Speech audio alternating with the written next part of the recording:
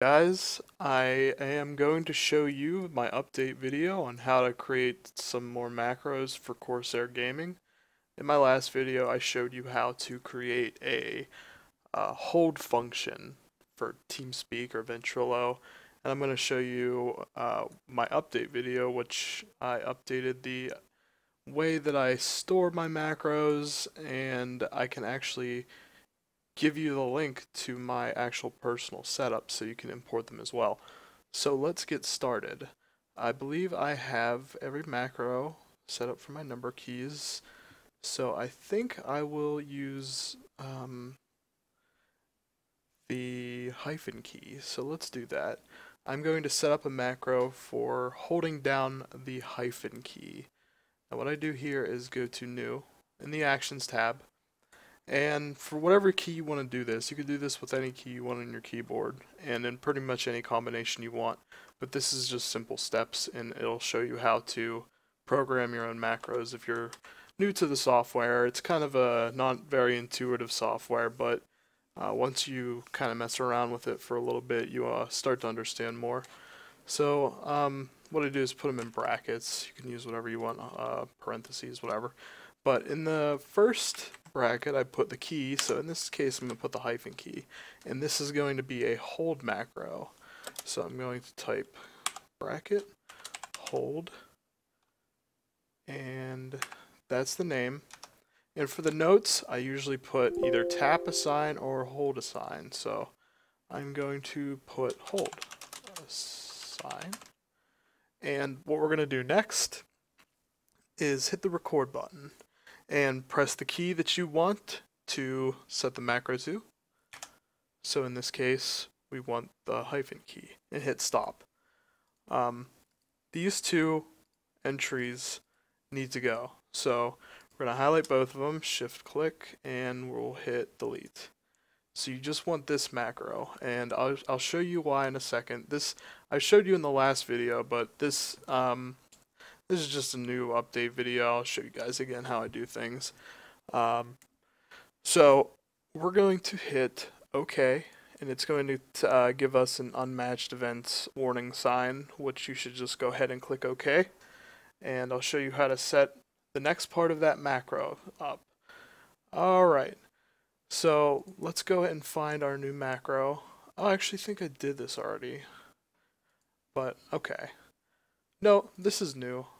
Okay, so I have the hold macro set up for holding. And in order to get it to hold, we have to create a double macro. So what we're going to do is, let's find out what we call them. Release, okay. So we'll do this. Bracket, your key that you want, hyphen, and then we'll do another one, bracket, release, RE for release. And what I do with this is I just leave it blank because whenever I sort by the macros that I want to find, I usually sort by notes, and then I'll show you that too. So in this case, we're going to hit record, press the macro key that you want again, hyphen, and these two need to go. So go ahead and shift click, delete, and we want a release key. So we'll hit OK. It'll tell us unmatched events. That's fine. And we want to find the macro that we made before that. So here it is. Hold assign. We'll edit it. And you see where this says double macros. Make sure to enable this. And we'll find our release command key.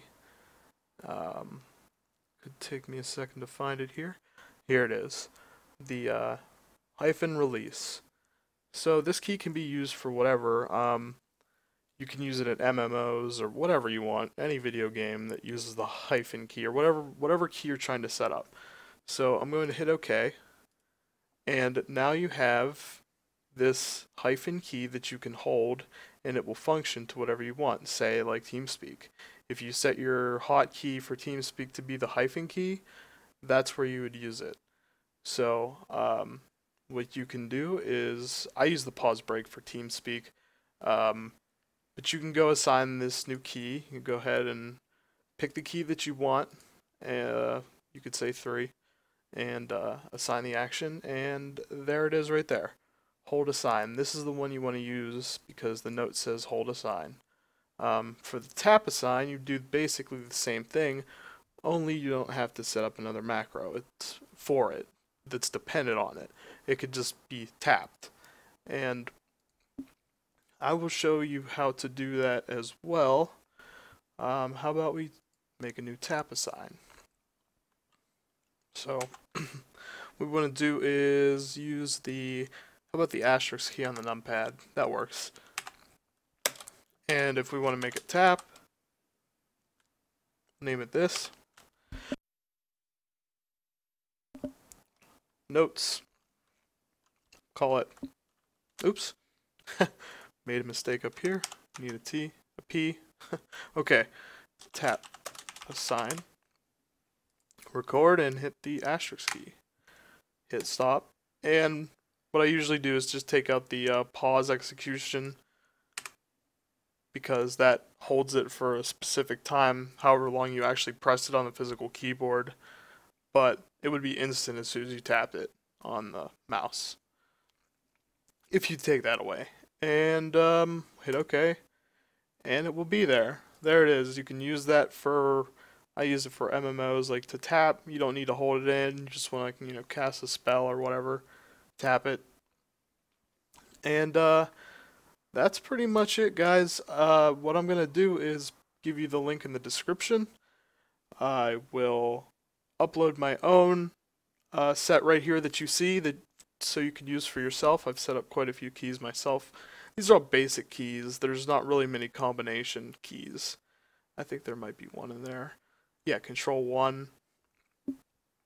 I have that for, you know, personal uh, I think I've used it for World of Warcraft actually. Um, so yeah, you can do this. You can upload your own. You can share your own. I would definitely like to hear back from you guys. Uh, if you found this helpful, make sure to give this a like and subscribe if you want me to give some more tips in the future. Um, so definitely check out the uh, what's it called? the page below the description. That's it. Go ahead and check out the description for my link and you can import it. And then you'll have all these to set up and use. So thank you guys and thanks for watching.